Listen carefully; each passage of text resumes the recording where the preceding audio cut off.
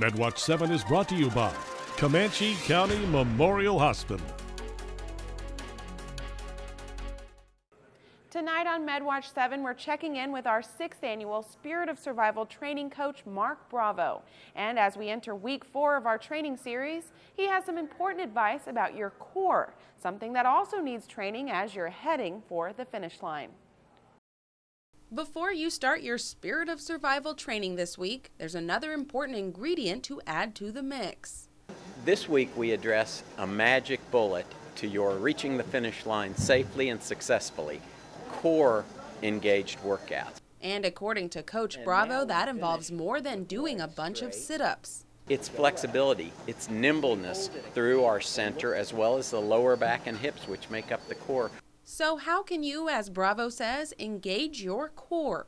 At times, with simply old fashioned own body resistance exercises, such as a push up done on the knees or not on the knees if you do the full fledged one.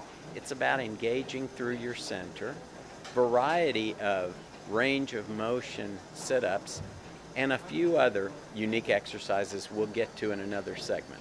Bravo says core workouts do more than just improve overall fitness. They actually help with conditioning, so you can make those long distance runs and walks safely and effectively.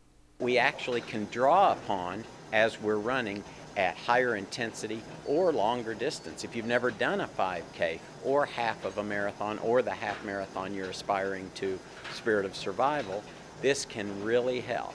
Strengthening your core should be done in addition to running and walking this week.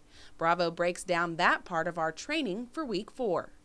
We hope that where the 5K is concerned, we have approached two miles, maybe a bit more than that for the half marathon relay. If we're at around three to four miles safely, and again, remember the conditions outside, you've got to respect them. And for the half marathon, you want to be at six to seven miles for your long effort. But if you aren't exactly at this point in your training, Bravo says it's okay. Just adjust it to a level that you feel comfortable with. Mark Bravo for Spirit of Survival 2011. And you can register for a race, print out training templates, watch these segments, and more by logging on to spiritofsurvival.com. You can also join the free SOS training program. It's held on Saturdays at Elmer Thomas Park at 7 a.m. And don't forget to save the date for the 6th annual Spirit of Survival. It's set for Sunday, October 16th at Elmer Thomas Park. For MedWatch 7, I'm Terry Armstrong.